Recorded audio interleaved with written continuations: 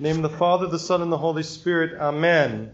We are almost upon Nativity or the Incarnation, celebrating the Incarnation of our Lord. Of course, that's Tuesday. So this is the Sunday before Nativity, and we read this passage from the scripture that a lot of people call the begats, right? Because all the begats are in there about all of the generations that preceded Christ, and also, of course, about the birth of Christ. And the I don't want to speak about the begats today. I want to speak about the application of the begats. The application of the incarnation, which I think is most evident in the epistle today. Now, the epistle, some people call it, I remember when I was a Protestant, we called it the Hall of Faith, right? By faith, by faith, by faith. St. Paul repeats multiple times, I think six times altogether. By faith, all these things happen. But the, all these people that were doing these things by faith, Abraham and Gideon and Joseph and all of the rest, they were doing these things by faith, but they were not obtaining the promise because the promise was reserved when the incarnation came and the, then the fruits of that promise, which be Jesus Christ living as a perfect man and telling us how to live as a perfect man. And then not only telling us how, but giving us the ability to do so through baptism. That's the promise that they did not obtain, even though they suffered greatly and they did things by faith. So, what does this by faith mean? It means there was active patience, belief, and obedience. It's an active thing. In our day, faith, many times, is a passive idea. There's nothing whatsoever passive about Christianity. It is active, it is extremely intense, and even violent. Scripture talks about that the kingdom of heaven is being won by violence, and the violent take it by force. And this violence is violence against sin, violence against depravity, against the things that break down, against the things that are dead. We must have this violence. We must have this faith that moves us towards the promise. Now, the promised Messiah has come, and he has taught his disciples and died on the cross, resurrected himself after three days, ascended into heaven, sent the Holy Spirit to us through baptism so that we can know him. All these things have transpired, things that the Old Testament fathers and mothers, they didn't see. Now, I'm always looking for a practical application. I'm very practical about some things.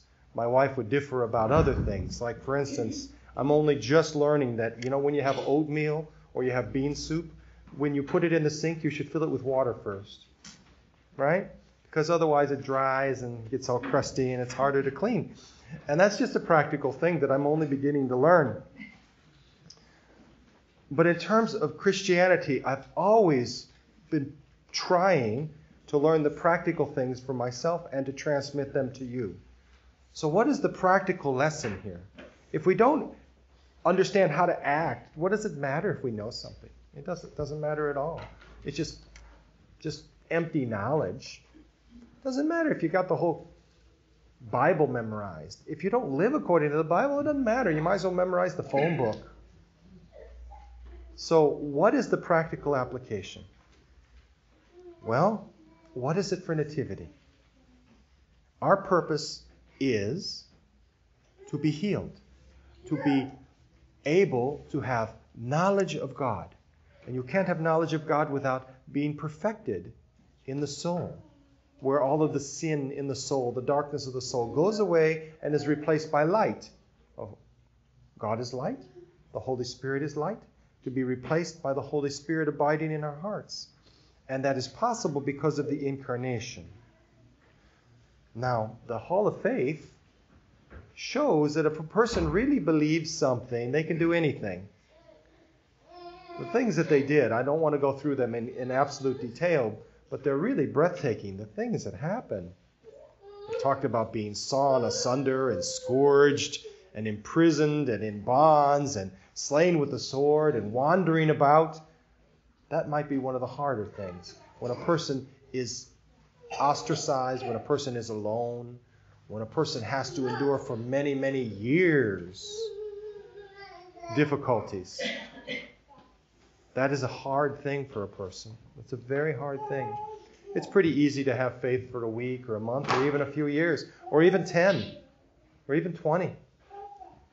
I've known of people that have lost their faith after 10 or 20 or 30 years. It's really, there must be endurance in us. And what does that endurance come from? Well, of course, it's by the grace of God helping us. But it has to also be our intensity that we add to the grace of God. Or that the, add, the grace of God adds to us, would be a better way to put it. There must be this intensity of living by faith with patience. So I would suggest to you that the fruit of the incarnation, one of the fruits, of course, there's many fruits, but one of the fruits that I think is very important for our day is patience. Now, whether or not you're patient when you're in traffic, that's not so important. I prefer that you didn't cut people off and didn't swear at them and such. But I'm not talking about the personal uh, personality characteristic of patience. Some people are more patient than others in that way.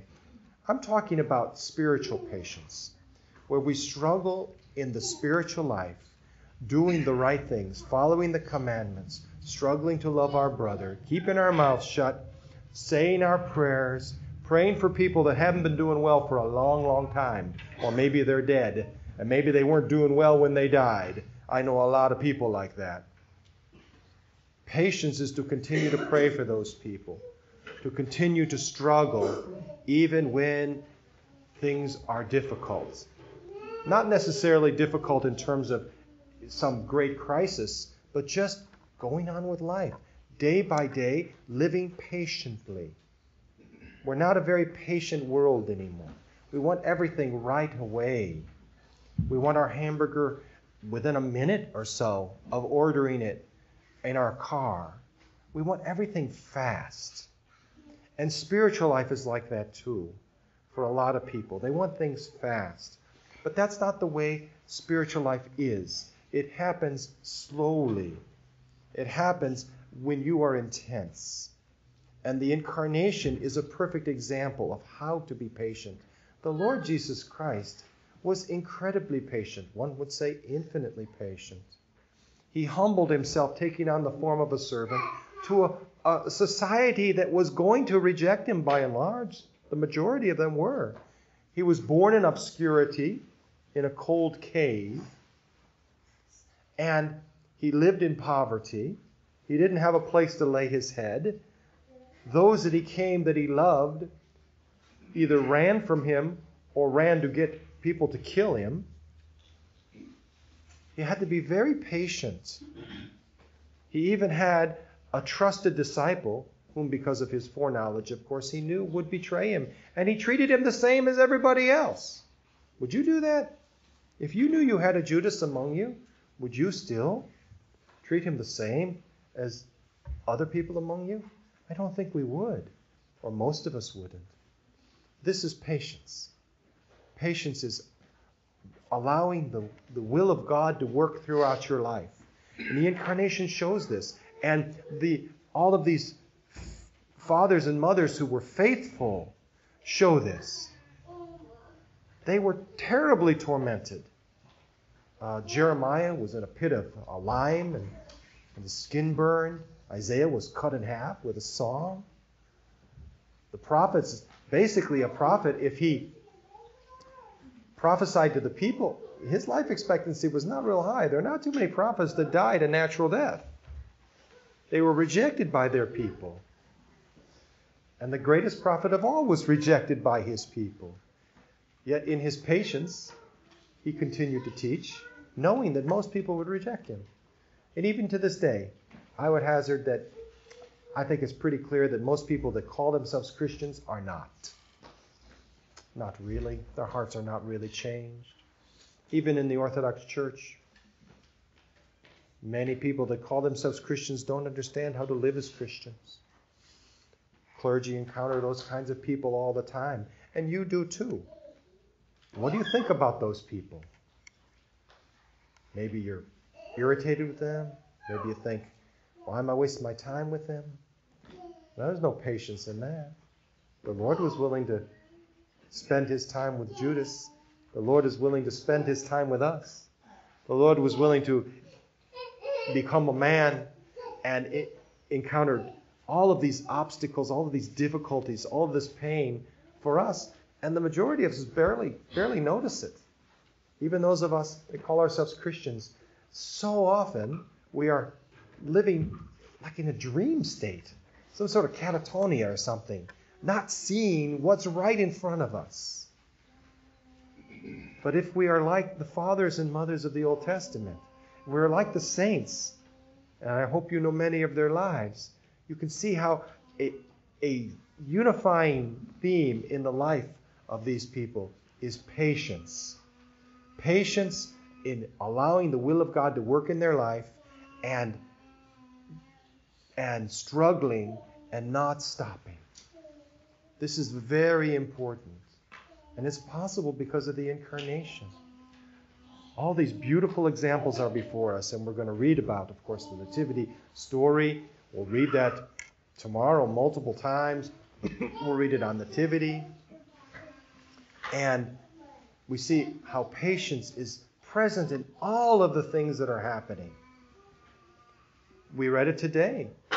Joseph is told that that which is in her is by the Holy Spirit. No other explanation. Well, wait a minute. She's pregnant. He knows how people get pregnant. And then the angel says that which is in her is by the Holy Spirit. Does he ask for an uh, explanation? He just believes. And he's patient. And he had to have a lot of patience. He was now going to marry a woman who was with child. So that to the world he'd been he'd been cheated on. And that woman could have been stoned. And if he didn't exercise his prerogative that most people would expect that he should to have her stoned, then he could be at risk. So he was patient and trekked on up to Bethlehem and then the baby was born and then went to Nazareth and lived in basic obscurity for 30 years. And then at the time of our Lord's ministry, Joseph was old. He was 110 years old. So he died before seeing that promise. Of course, I'm sure he knew that this was the Savior. But he was a little bit like Moses, shall we say. He got to see the promised land, but not to go into it. But he's a great hero because of his faith. And with his faith, of course, is humility and patience. You can't really have patience without humility. The two go hand in hand. And you really can't have those two things without love. That's sort of a triumvirate of, of virtues.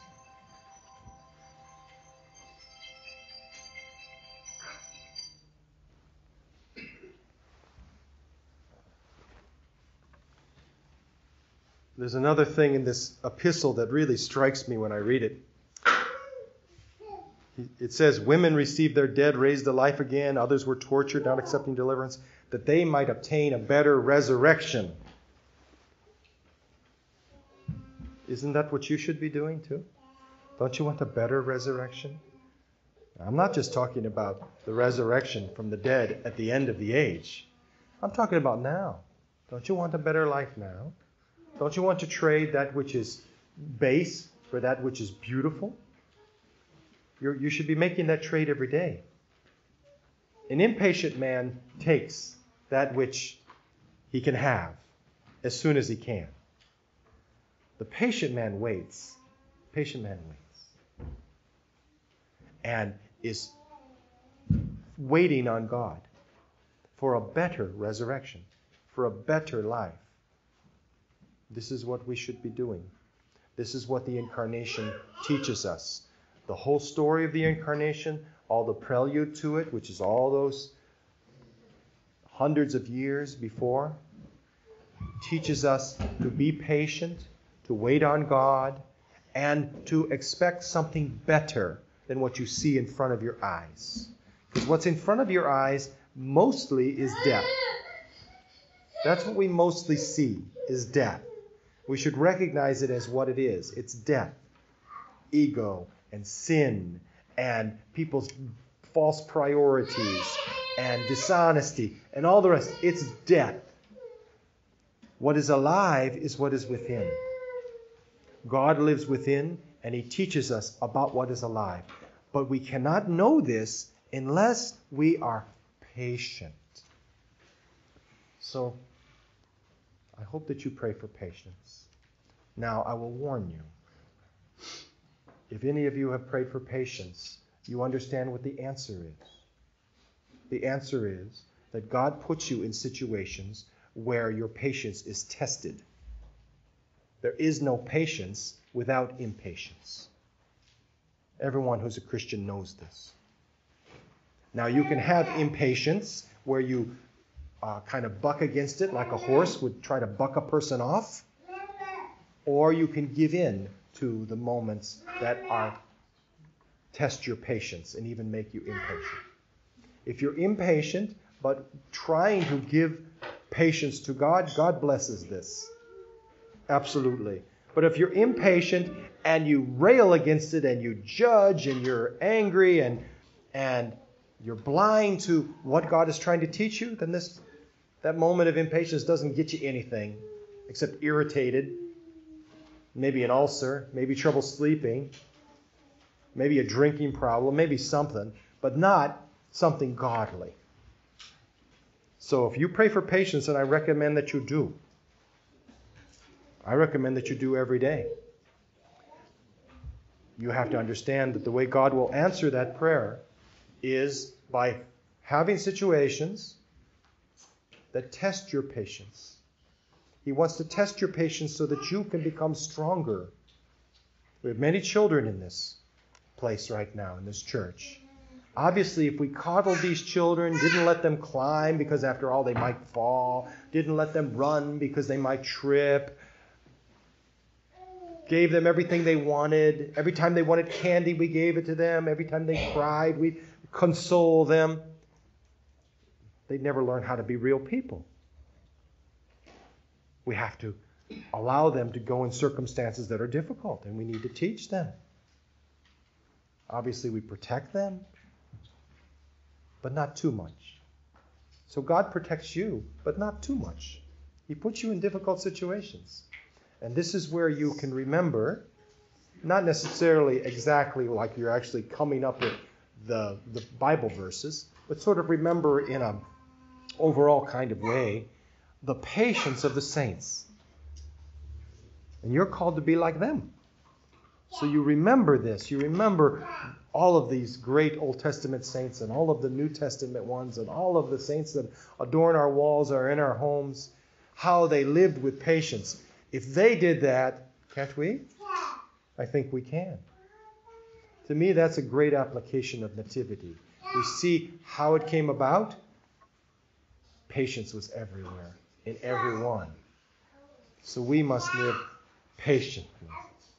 May God help you. God bless you. Amen.